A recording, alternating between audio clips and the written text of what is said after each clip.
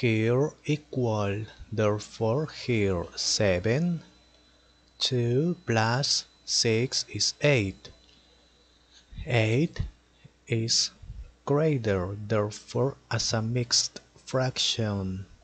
Here 7 7 multiplied by which number is nearest to 8 but not greater.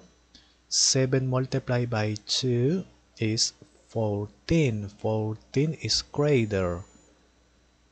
1 7 multiplied by 1 is 7 7 is not greater. Okay therefore 8 minus 7 is 1 here okay.